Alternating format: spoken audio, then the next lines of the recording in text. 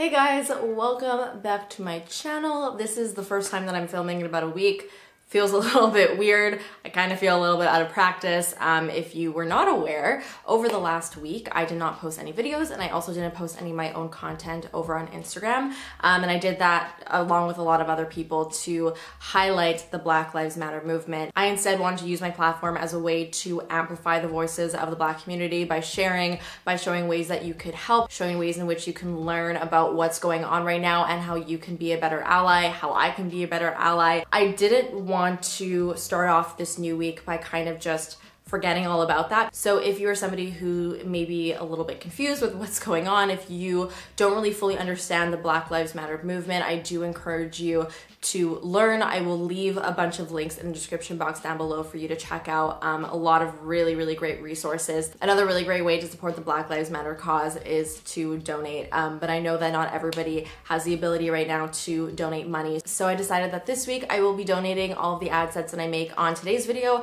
as well as the second video that I post this week to the Black Lives Matter organization. So even if you are personally not able to donate just by watching this video and watching the ads that are in and around it, you will be supporting the cause, which is awesome. So with that being said, today's video, it's going to be a favorite. I am going to be talking about some products that I have been loving over the last little bit. Um, I actually only have one makeup product here. Everything else is actually kind of lifestyle related. A lot of the makeup products that I've been loving, I actually just featured in an everyday makeup routine, which was my last video. So I didn't want it to be too repetitive and just repeat the same products all over again. So if you wanna know what some of my makeup favorites are, then definitely check out that video. But today, like I said, we'll be focusing a lot on some lifestyle things, a lot of random things. All right, so without further ado, let's get right into it. All right, so the very first product that I wanna talk about is actually quite exciting because I've never spoken about this before on my channel, and that is a nail polish. Now, believe it or not, I have not worn regular nail polish in probably six years. I have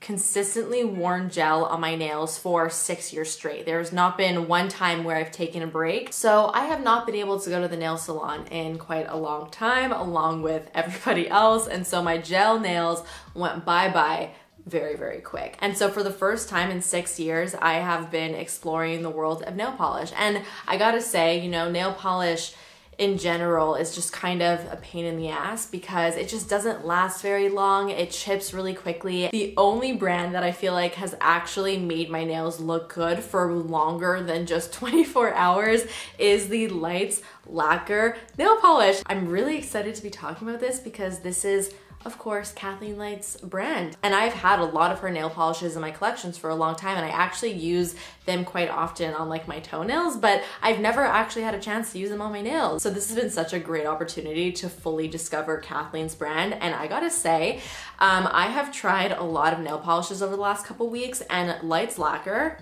the best. I actually just did my nails before doing this video and the color that I'm wearing is called Woman and it's one of my favorites that she has. It's like this really gorgeous powdery electric blue. First of all, application, wow, it is so easy. For somebody who does not know how to paint their nails, me, I am able to get a pretty much like somewhat perfect application without getting nail polish all over my fingers. I think that has most likely something to do with the applicator. The applicator is really nice and thick and it's a little bit rounded. So I find it kind of like does the work for me. Like as soon as I brush it on my fingernail, it just covers everything in like the perfect shape. She also just came out with a whole neutral collection, so definitely recommend checking those out, but her brights are my favorites, and this color is my ultimate favorite. Woman is stunning. Okay, so next up I have a bunch of fitness things that I've been loving. So over the last three months, my fitness has taken a dive, a deep, deep dive. It's It's been going like this. So I've been trying really, really hard to stay as active as possible. Um, and I've actually started to do a lot more outdoor activities. I've been biking a lot. I've also started running. Now let me tell you that I was never a runner. Running and me, no, no, no, we never, we never got along. Until I saw what felt like every single person on my Instagram feed running 5K, I was like, okay, if, if all these people can do it, I can do it. I can be a runner. And so I just threw on any pair of shoes and I just started, you know, running around my neighborhood, just letting my limbs fly in the wind and that was my first mistake because I was completely unprepared and I ended up injuring myself. First of all, I couldn't run for more than 30 seconds straight and then second of all, I put on horrible horrible shoes and I hurt my foot. So learned my lesson there and I learned that I needed actual running shoes to be able to run. And so this brings me to my next favorite, a pair of running shoes. From my research, I found that the Hoka One Ones are a big runner's fave. So I blindly bought these online without trying them on, which was honestly a huge risk, but it was a risk that I was willing to take. And I gotta say, these are fantastic. And what a difference it makes when you actually have running shoes that are made for running when you run. I swear it just lets you like spring a little bit more. It makes it so much easier. So these are called the Rincon. There's really not much more that I can say about them. They're actually a, quite a lightweight shoe, which I really like. I feel like it doesn't weigh me down when I run, you know what I mean? And they're probably one of my favorite running shoes that I've ever tried and I have not injured my foot with these. So that's a plus. Another running favorite of mine is actually an app that I've been using to, to train myself because like I said, I never really ran before, so I didn't really know exactly what to do. Just thought that in order to get better at running, you just like went out and, and ran for as long as you possibly can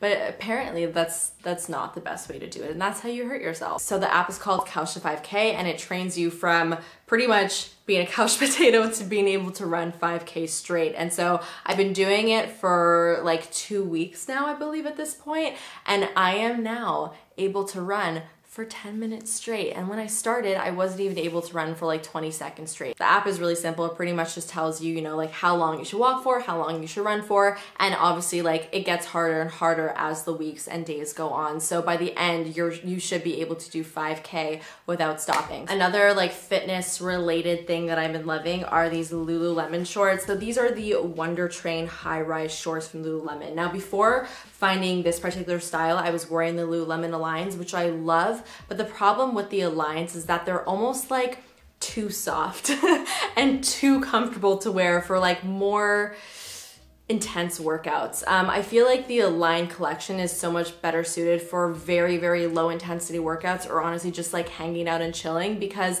the fabric is so buttery soft that I find if you sweat too much in them, they, they kind of just soak through.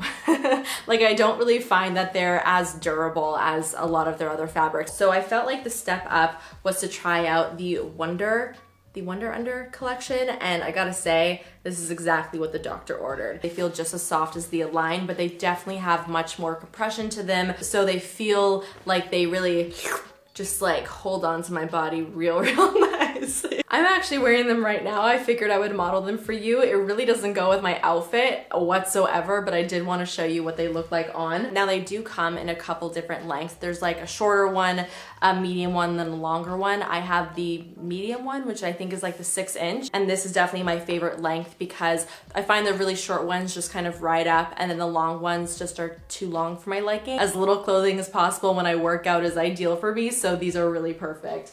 They're kind of just your typical biker short, really nothing too special, but, but they're really great. Kind of just stay in place, they feel really good, and they work. All right, moving on now to another favorite of mine for my outdoor workouts. This is a little fanny pack that I wear when I go running or when I go biking. And I love this because it stays really, really tight to my body. It's not a bulky fanny pack at all. It's also very lightweight and I feel like I'm able to fit weirdly quite a bit of stuff in here. So this is from Herschel. It's this really pretty dusty pink color. I know that Herschel has a ton of different colors in like all of their styles, so I'm sure you could find even black if you wanted. This is what I've been using to carry like my phone, my earphones, um, my wallet. So very simple, random thing that I've just been really liking. Another very weird random thing that I've been loving is this AirPod cover for my AirPods. These are my Apple AirPods. These are my earbuds that I like to use also when I work out. So I use these very, very often. And I also misplace them pretty much every single time that I use them. So I wanted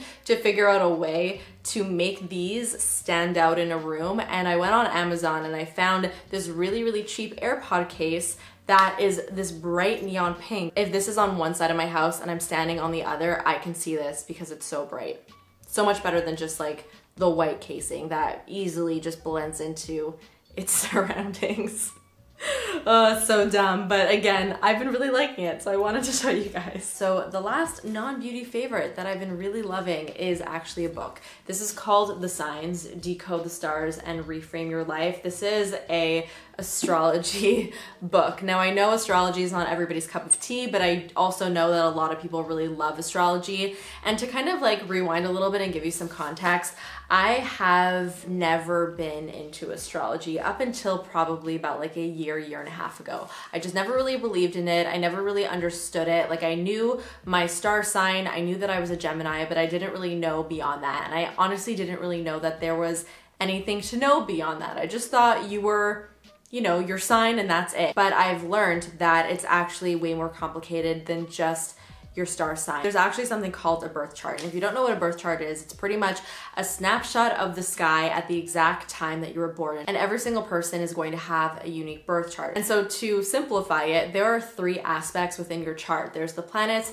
the houses, and the zodiac signs. And so depending on where the planets land in relation to the zodiac signs and the houses, it's going to completely change the meaning of your chart essentially as a whole. It's actually very, very complicated and it's almost like learning a new language when you are starting to like dive into astrology. About like a year and a half ago, I actually met with an astrologist who did my entire birth chart and she pretty much printed me a 20 page document that pretty much said everything there is to say about who I am as a person. And we sat down at a bar for six hours straight and spoke about my birth chart. And it was just so fascinating to me. And it really opened up my mind. It opened up my eyes to this whole new world. And I just became so interested in it. And more recently, I kind of wanted to dive a little bit deeper. And so I found this book off of a couple people's recommendations and I've been really, really loving it. This book pretty much goes into detail with each and every sign, each house, and each planet. So it kind of gives you all the tools that you need in order to be able to fully read a birth chart. So I have been studying this book, taking notes. I've also been asking so many people in my lives for their birth times so that I can create their birth charts. And it's been so fun and eye-opening and so cool because I'm seeing how the personalities of some of the people that I know in my life are kind of manifesting within these charts. And it's just so interesting. It blows my mind every time. All right, I'm not gonna go much more into it because that's a whole other video in and of itself, but I just wanted to recommend this book if you are somebody who's also into astrology. It's so, so interesting. Okay, so now let's talk about three beauty items that I've been really loving. So this is a brand new lip product from Fenty that I kind of feel like was made for me. This is the Slip Shine. So if I had to compare this formula to any other formula that I've already tried, I would say the L'Oreal Shine lipsticks are probably the most similar. So it's pretty much like a semi-sheer lip color that has some nice shine to it. It's a very, very comfortable formula. It feels like a lip balm on the lips, but it looks it makes your lips look so juicy. So what I've actually been doing is I've been mixing this bubblegum pink shade with this more nude shade called Glazed. And it kind of just tones down the pink just a little bit. And they just mix together so perfectly and it creates this really pretty pinky nude. Or of course you could wear them on their own and they're really, really beautiful. This is honestly just like my perfect formula. I can see myself wearing this nonstop this summer as like an everyday lip color. All right, I got two more products here. I have a sunscreen here. This is from Dermalogica and it is the Invisible Physical Defense sunscreen with SPF 30. Now I've kind of been switching between this guy and the Supergoop sunscreen, but I've spoken about the Supergoop sunscreen in like my last two or three videos, so I didn't want to mention that one again in today's video, even though I just did. It um, is pretty good for my sensitive skin. Sometimes sunscreens just like break me out or like cause weird reactions on my skin. This one has been really fantastic. And I and I kind of knew it would be like that because Dermalogica is a brand that I always can trust. Like I feel like a lot of their products just work really, really well for my skin. So I I wasn't surprised that their SPF just worked perfectly. Oh, the sun just came out. Perfect timing. It's not greasy. You don't really feel it on your face. It doesn't have a very offensive smell. It kind of just disappears. So like I said, I've been using this guy and the Supergoop. I find that I use the Dermalogica one more when I'm not wearing makeup and that I use the Supergoop sunscreen, the unseen sunscreen when I am wearing makeup because that one has more of like a primer consistency to it. This is more of like a traditional sunscreen texture. So the last product that I want to talk about is a product that I did recently just mention in I think that everyday makeup tutorial that I just posted, my last video. But I wanted to mention it again because it really has been such a consistently used product in my routine as of lately and it is the Hair Routine hair mask. It also gets extra cool points because it is a local Montreal brand and I love supporting local Montreal businesses. So there are a couple hair masks within the brand. I do use all of them and really like all of them. Um, I find that they all really do a good job of just kind of protecting my hair and making my hair feel really nice and healthy and shiny and just strong. And what I've been doing very, very often is I've actually been using this mask in place of like a hair gel when I put my hair up in a bun. So if I know that I'm gonna wash my hair at the end of the day and I don't really have anywhere to go and lately I've been having nowhere to go. I've just been putting my hair up in a bun and I've been using this hair mask as kind of like the gel to like slick back my hair. So I end up getting this really nice slick back bun, but at the same time, my hair is being moisturized for the entire day. By the time I wash my hair out at night, my hair is like so silky, so shiny, and I find it's been honestly like a blessing for my hair. It's been making it feel so, so good. I have also been using the Hair Routine um, shampoo and conditioner, which I do also really, really love. All right, guys, that is it for today's video. I hope you enjoyed it. Those are all the things that I've been loving lately. I'll see you in the next one. Bye.